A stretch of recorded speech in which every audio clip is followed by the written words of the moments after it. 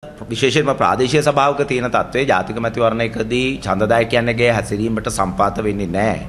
ඒ නිසා මොනම විදියකට හරි මේ LPTA ඡන්ද ප්‍රතිඵලය සමස්ත මැතිවරණයක ප්‍රතිඵලය නිරූපණය කරනවායි කියන කාරණය එකඟ වෙන්නට බෑ. එය තවත් විශාල සාධක සංඛ්‍යාවක් එක තමයි තීරණය වෙන්නේ. ලංකාවේ සෑම ජාතික මැතිවරණයකදීම ලැබෙන ප්‍රතිඵලය සහ LPTA ප්‍රදේශයේ මැතිවරණ ප්‍රතිඵලය සමගාමී වෙන්නේ නැහැ, සමානුපාතික වෙන්නේ නැහැ. තීරණාත්මක ජනාධිපතිවරණයක ජයග්‍රහණයේ තීරණය වෙන්නේ වඩාත්ම හොඳින් සංවිධානය වන කණ්ඩායම, අඩුවෙන්ම වැරදි කරන කණ්ඩායම, ඉලක්ක කණ්ඩායම් වලට ආමන්ත්‍රණය කිරීමට සහ ප්‍රශ්න වලට විසඳුම් ලබා දීමට තියෙන හැකියාව අනෙක් අතට ඡන්ද පොලට එන මිලියන එකට ආසන්න අලුත් ඡන්දදායකයන්ගේ හැසිරීම මත මේ ඡන්දදායකයෝ නිකන් ගිහිල්ලා කැමති අපේක්ෂකයන්ට ඡන්දය දෙන්නේ නැහැ. ඔවුන් දිනා ගැනීමේ වැඩපිළිවෙලක් අවශ්‍යයි. අලුත් ඡන්දදායකයෝ සහ වැඩිම පාවෙන ඡන්ද සංඛ්‍යාවක් තිබෙන ජනාධිපතිවරණයක් බවට මේ 2019 ජනාධිපතිවරණය පත් වෙලා තියෙනවා.